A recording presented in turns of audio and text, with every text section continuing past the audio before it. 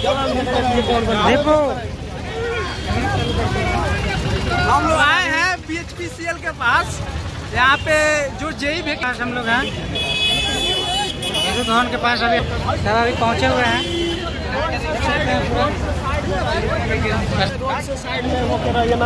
हाँ हाँ रोड से साइड होके रहिए। थोड़ा रोड से साइड होके रहिएगा। कोई दिक्कत नहीं है देख सकते हैं। बोलिए ना क्या लिखा हुआ है? इसका मतलब समझाओ तुम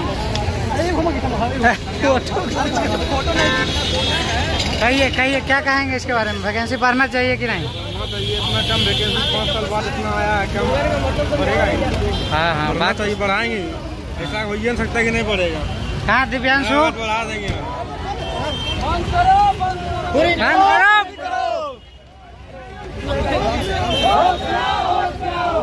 होश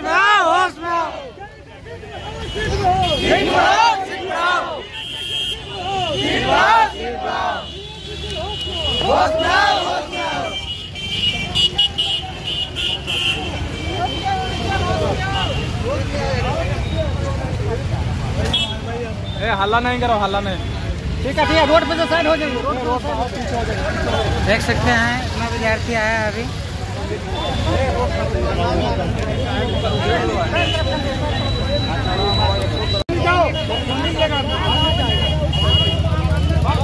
नहीं कोई मिलेगा कोई नहीं मिलेगा